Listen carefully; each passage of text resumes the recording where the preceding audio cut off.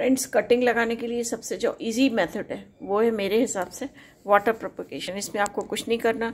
Cuttings काट काट के सिर्फ़ पानी में डाल दीजिए। मेरे देखिए मटके में लगी हुई हैं, टूटे मटके में, और आपको मैं इसको दिखा भी देती हूँ। ये करीब महीने भर पहले की है। देखिए, इसमें जो वाइट वाइट ग्रोथ है ना, ये सारे रूट्स फॉर्मेशन है, और एक दो में बड़ी रूट्स आ भी गई हैं, वो भी मैं आपको दिखाती हूँ। ये देखिए, है ना?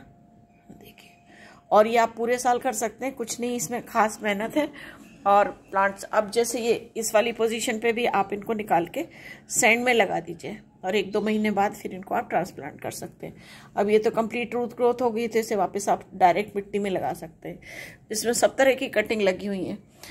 गुड़हल की हैं धनबरजिया की हैं चाइनीज़ ऑरेंज की हैं तो मोटी से मोटी और पतली से पतली कटिंग आप इस मेथड से बहुत इजीली लगा सकते हैं। इसको मैंने सेमी शेड एरिया में रखा है। और पानी इसका खास में बदलती नहीं, कभी महीने, डेढ़ महीने में बदल दिया तो ठीक है।